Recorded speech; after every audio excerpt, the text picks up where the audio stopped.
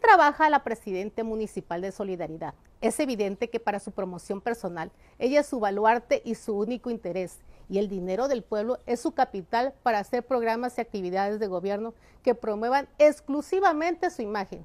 El dispendio de recursos de Lili Campos está a la vista. El motivo es lo de menos. La Virgen María, la Virgen del Carmen, Santa Claus, Reyes Magos y próximamente los tamales del día 2 de la Candelaria. Todo lo paga el pueblo con el dinero extraído del ayuntamiento. Se quiere reelegir o ser diputada federal. Invitó a la gente de Playa del Carmen y Puerto Venturas a la Rosca de Reyes.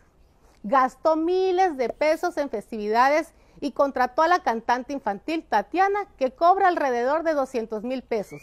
Liquili Campos utilizó los recursos de comunicación social del ayuntamiento para que toda la prensa que cobra en su gobierno con factura o sin factura promueva su imagen en estos eventos. Lili Campos en cada evento gasta millones, pero no es su dinero, es del pueblo y todo para volver a ser candidata. Soy Claudia Espinosa para Cancún Channel y Contrapunto Noticias.